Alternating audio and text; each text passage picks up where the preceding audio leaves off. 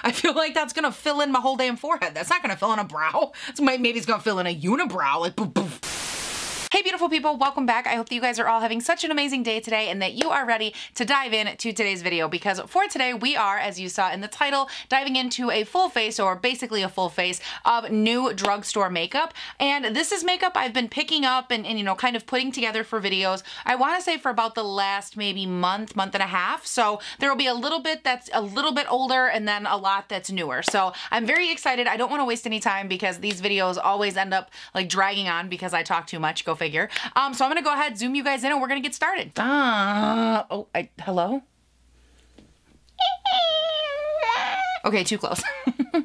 just a little bit. Okay, so now that we're good and zoomed in, let's go ahead and start talking complexion. I have already primed with a little bit of my Tatcha Silk Canvas just up and around in my T-zone area and kind of worked it out onto the like cheek regions right here where I have a lot of texture. And I did that because on a day where I'm testing out a new foundation, which today I am, I do prefer to stick with a product that I've used before just so I can keep variables the same in at least a couple of areas. So I have that applied to the whole face, but I did pick up this new product from Revlon that I thought it would be cool. Maybe we could apply it to half of our face. Um, it's this guy right here. This is the Revlon Skin Lights Face Glow Illuminator. I have it in the shade 300 Sunrise Luster. Now on the back of it, it does say that you can um, use it alone, dab it onto cheekbones, use it with foundation, like mix it in. You can do any of those things. I'm going to be applying just a little bit um, to like the cheekbone, a little bit on the forehead, more so the high points of one side of my face. So I'm just going to take some and like swipe it on. I'm going to use this half of the face and it's not pilling up or getting weird. It actually has like a really nice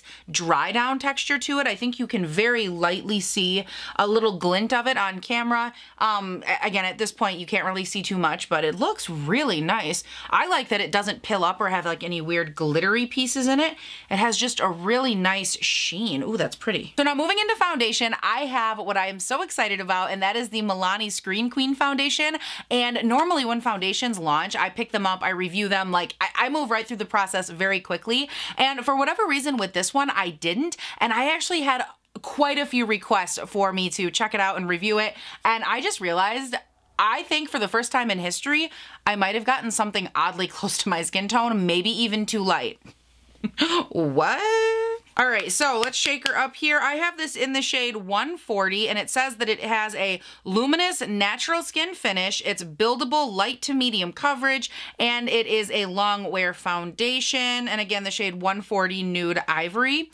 Whew. Now here's my only thing, because it does say light to medium coverage, and I want to be fair because I have some other full coverage products coming up later.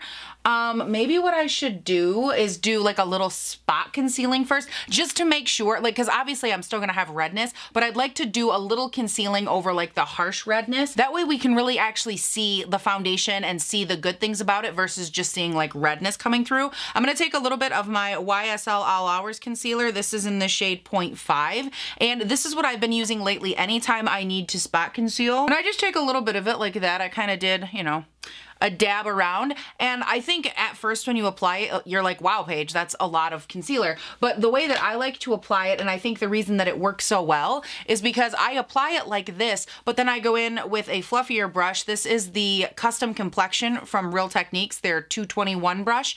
And it has like this feature right here where you can kind of slide the brush up and down to um, create different coverages. But I like to leave it on the fluffiest setting. And what it does is gives me a nice, like I would say start on me medium coverage, but it doesn't look thick, cakey, overwhelming. It doesn't look like I totally canceled my acne, but it just gives me that little leg up. Okay, so I zoomed you guys in again just so you can see that did take care of some of the more dense redness, but it didn't take away all of my redness and hyperpigmentation. So we're still gonna test the coverage, but knowing going into it that it is more of a light to medium really makes a difference. So I just went ahead and pumped some of it straight out onto my e.l.f. sponge.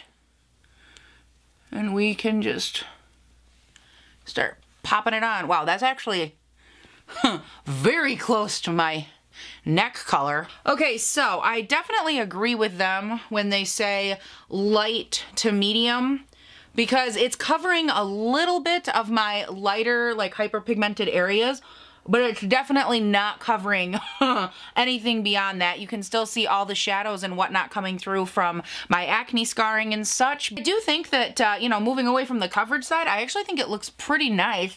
I like that it's not like a super thick and cakey foundation. It, it looks like it's settling in okay. For concealer, I have two different options. One of them is a stick concealer. This is from Catrice, and this is their Slimatic Camouflage Stick. I have it in the shade 002 Nature. And then I have from Makeup Revolution, this is their Conceal and Define Infinite Longwear Concealer. It says that it is also crease proof with infinite coverage. Oh boy, oh, oh boy. We love a big claim on this channel. Yes, we do. So the one from Catrice is absolutely teeny tiny. Oh my gosh, this is so small.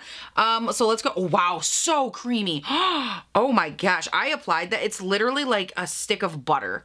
It is so creamy. Holy cow. So let's go ahead. Let's try this one out first and we'll pop it under one eye, like kind of right up in here. And I'm not going to apply a ton just because I want to feel the consistency. And I'm just going to start by patting it out with my ring finger first. I like the coverage. I like that it has a nice, almost muted feeling to it, um, like a blurring effect, kind of. I like that. It does feel like it's um, a little bit on the dewier, more satin side, which on my under eyes can make it very difficult to set, but it looks really nice. Okay, I'm gonna leave that there for just a second cap that. And now we're gonna go in on the other side with a little bit of the Makeup Revolution concealer. I'm just gonna dot that on and I'll blend that one out with a sponge. Ooh, guys, I like that Makeup Revolution one. Oh, wow.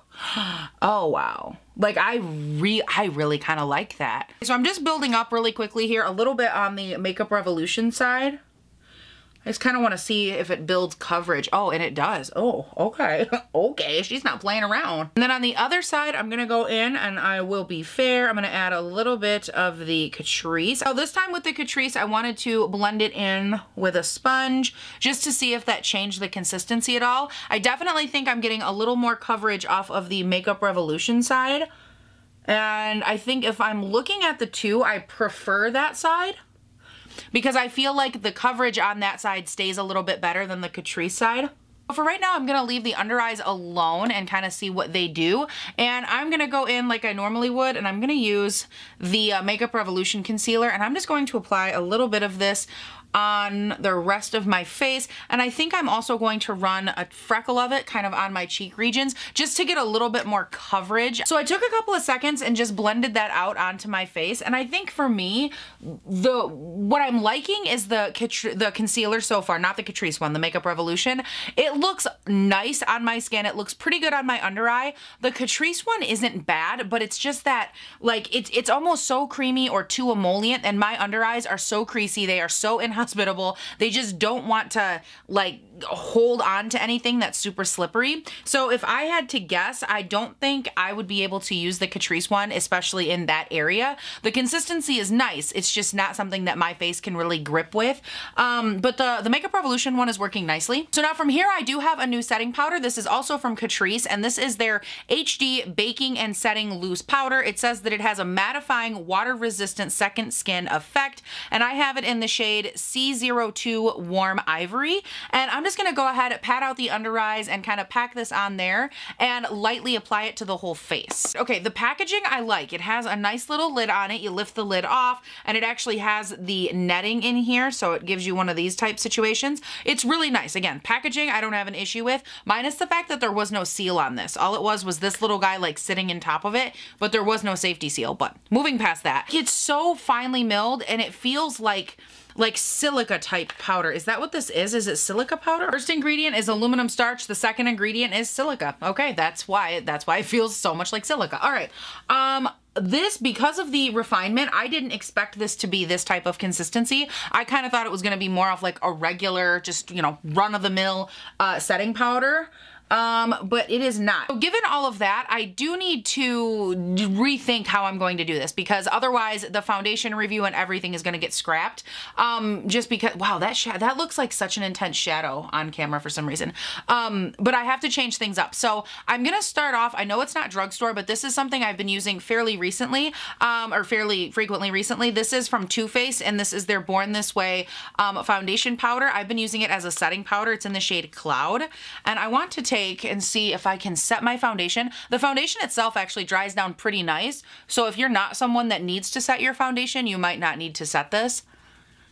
But I just want to see how it works with like a pressed powder, like a regular pressed, you know, type powder that I would normally use. And on the other side, I'm gonna go in with a little bit of my Maybelline Fit Me. This is an 05 Fair, and it's just the loose setting powder that I use pretty much every day or all the time. All right, so now that I've went through, I've used, uh, you know, other products trying to kind of feel out what's going on, and I think we have multiple situations at play. Um, I think, first of all, this powder is a, like the packaging and the presentation I think is really nice, so there's no issues there. The, um, the issue for me isn't so much in the silica or in like the, the ingredients. I was just more so mentioning that because I can feel like that's the level of refinement it is. That's how fine the powder is.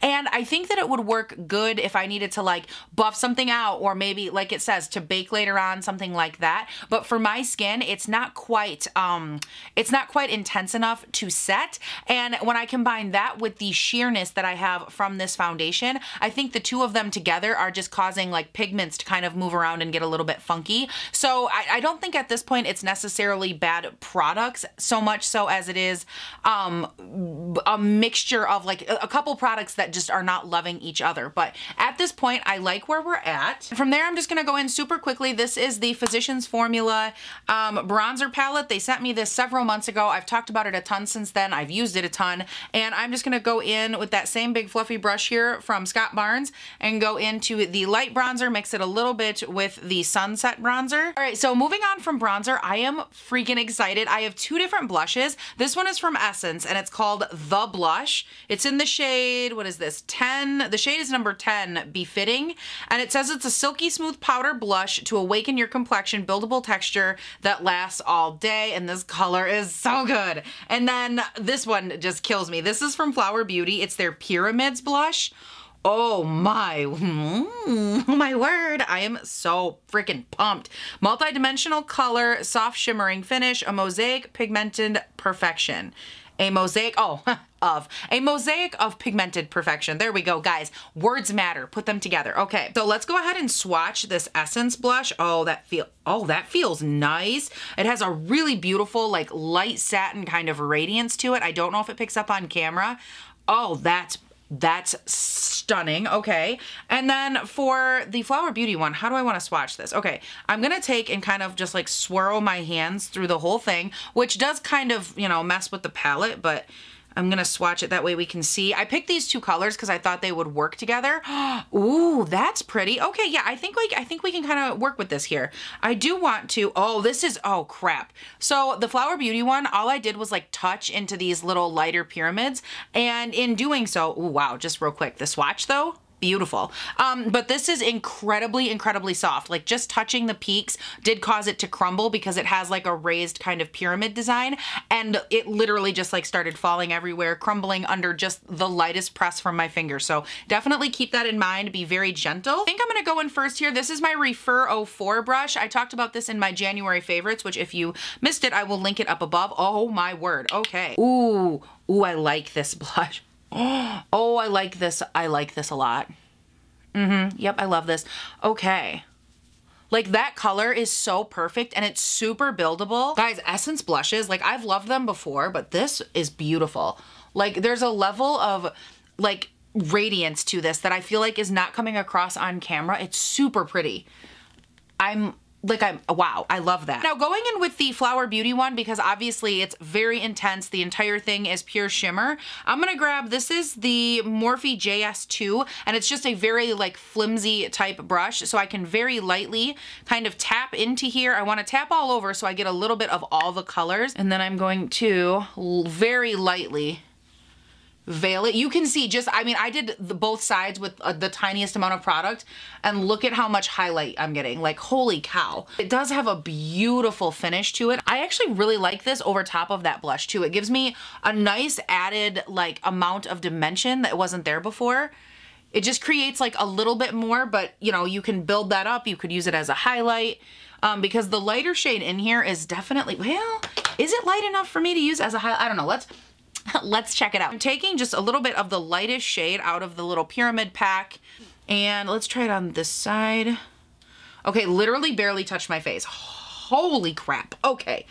That's a bright ass pink highlight. So how we're gonna fix this, or at least dull down the intense pinkness that is now on my cheek, I'm gonna take that big old fluffy brush that I used for the blush, which I'm just knocking off here, and a little bit of my Hourglass Ambient Powder. And what this will do is just work as a diffuser um, over top of the highlight. So it'll help take down a little bit of the color and a lot of the shine. There we go.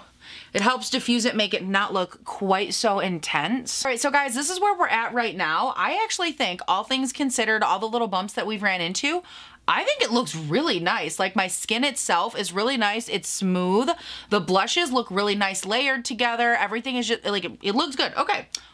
Okay, I'm pleasantly surprised. All right, so real quick here, let's just get some of the foundation off my lips and put on a little chapstick. My lips are feeling a little bit crusty busty. And this is just my Mood chapstick from American Eagle. I talked about that also in the favorites that I linked earlier. All right, so I moved the camera out. We're just gonna keep adjusting it for lighting. You guys know how it is, Northern Michigan, land of the dark and dismal. So when there's light, we just have to try to, we have to just try to roll with it to get it to show up on camera. But let's go ahead and talk about brows because I actually do have two new things here. This one is from CoverGirl. This is their Easy Breezy Brow and it says it draws and fills and it has a side of it, to my understanding, it has like a two in one where one side is a pencil and the other side is a puff, which is interesting. And I have this in the shade 300 Soft Brown.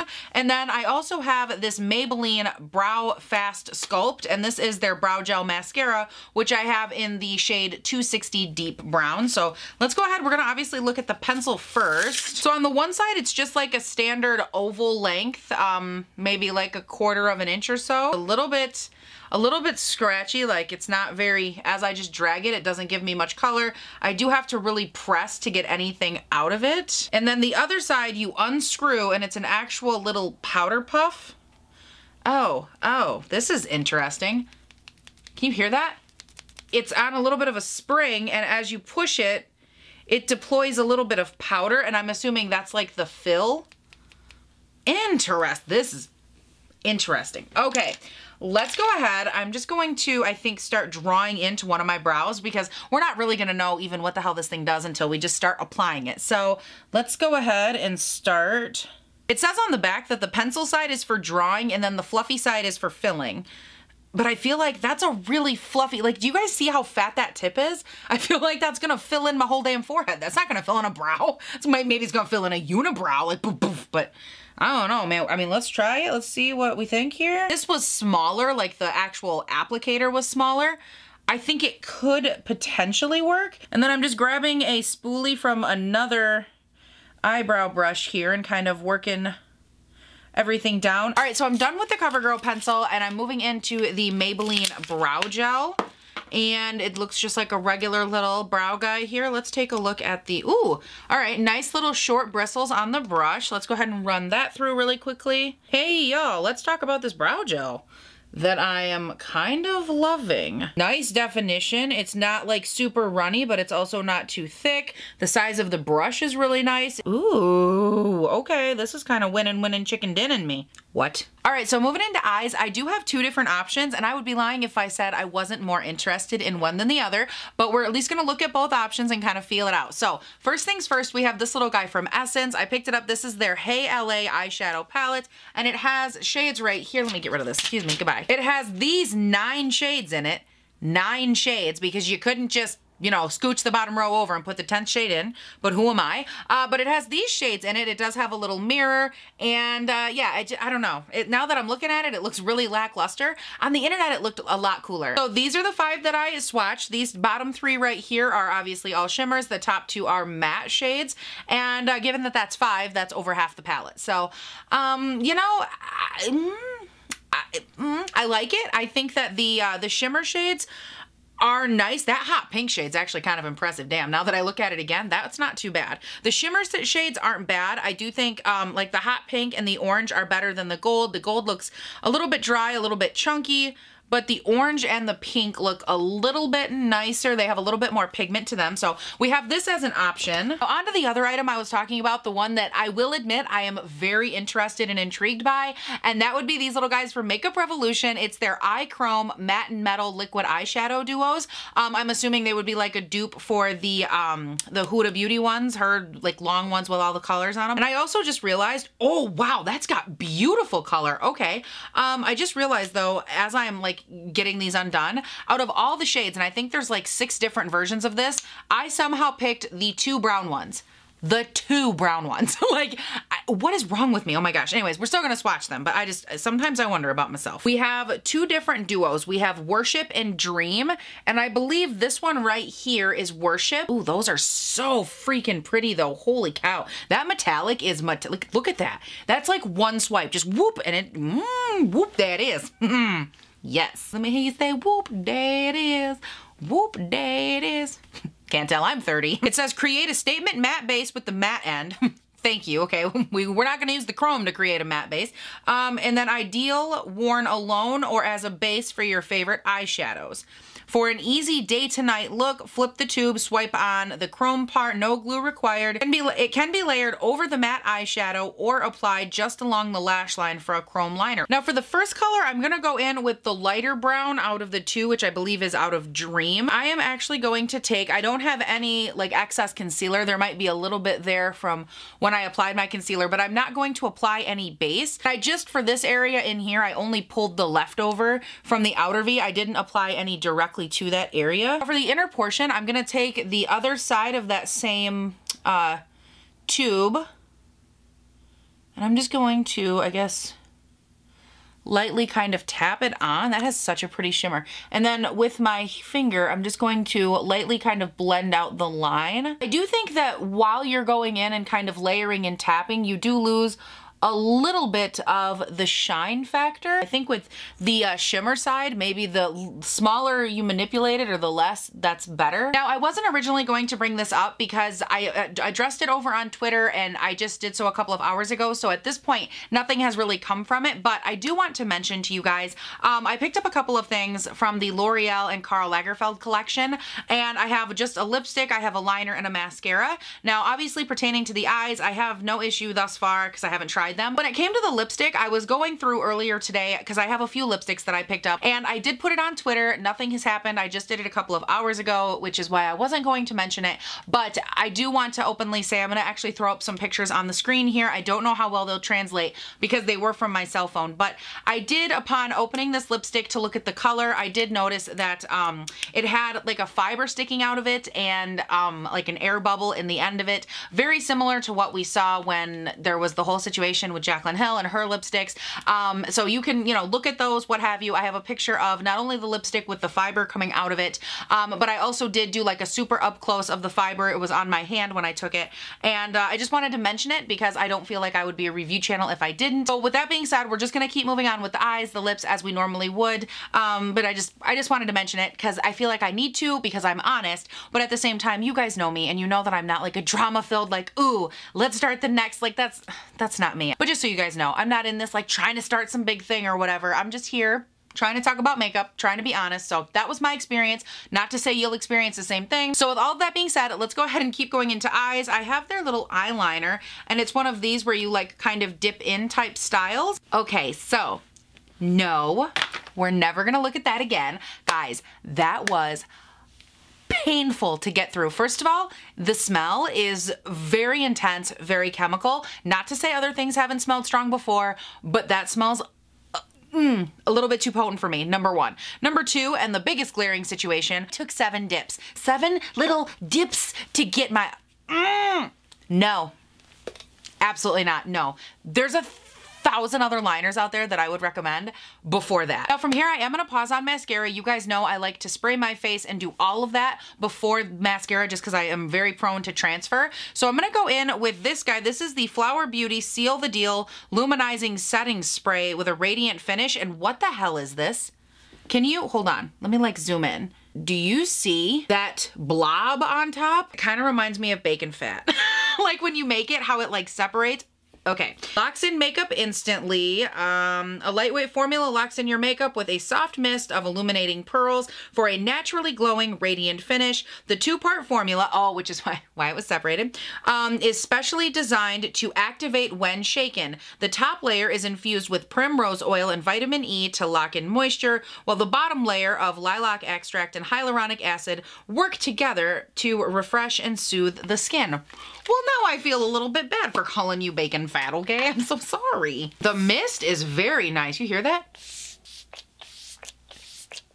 So that actually does look very nice on my skin. I like the little, the little bit of radiance. I like the mister. It's very fine. My only caveat, and this is just like a personal preference thing, anytime I go in to set my makeup and like really set it down for the first time, I like to have something that's a little bit wetter. Um, that's why I always use the Morphe Continuous because while you do get that spray, like you can you can hear it's really nice and refined. It's a lot more dense. It's a lot wetter. This one, when I spray it, I can actually feel it like setting my makeup down and like pressing all the powder layers together. Whereas the other one feels really nice and it's very light mist. It doesn't have the wetness that I need to press it. So that one I'll use again after highlight just to lightly press everything down one last time. So I guess we're just gonna go in here with our ColourPop Horse and Carriage. Oh darn. Oh yeah, my face 100% is darker right there. We're gonna take some of that Catrice powder and see if maybe we can brighten up that area why not try it? But because we have that powder on, I'm actually gonna go ahead and do lips before mascara just in case I need to spray again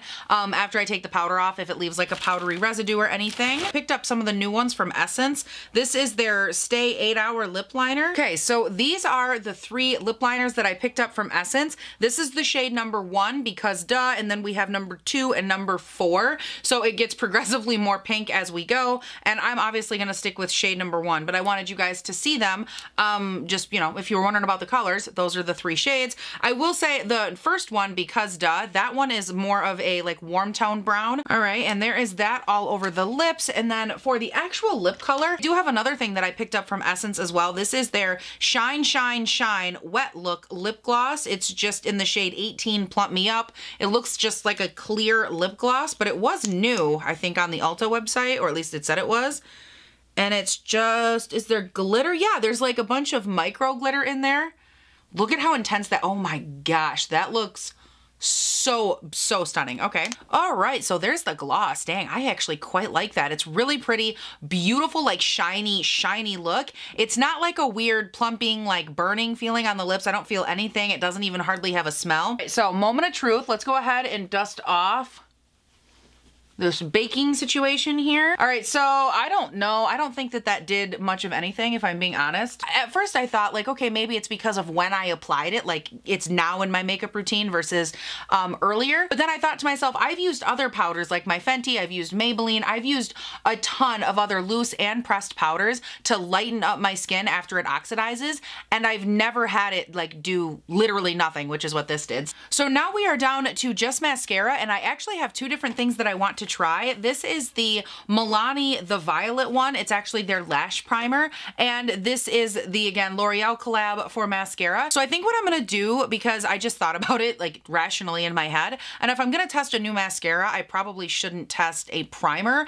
And I really want to try the primer. So I'm going to curl my lashes and maybe I'll try the, um, the lash primer first just by itself with a mascara that I'm already used to. So I have one coat of that applied to this side and now I'm to go over it with my L'Oreal Voluminous Lash Paradise. So I know that you guys probably can't see this on camera, um, but like I'm super impressed with how that looks. Definitely doing it on the other side too. It actually just like applies and separates my lashes, but also lengthens them. It gives them a little bit more bulk, but it bulks them up on like an individual lash level, not like a all of them bulk together and make one mega lash. And I think that's what's giving it, like that's what's making it so special. All right, you guys, so with the mascara on and completed, this is the final face. What do you think? Be sure to leave me all of your thoughts and opinions down below. Um, if there's anything that stood out to you that you either wanted to try or you were curious about, something that you did try, maybe you liked it more, whatever the case is, leave me all of your thoughts and opinions down below, or if you just like the way the look turned out,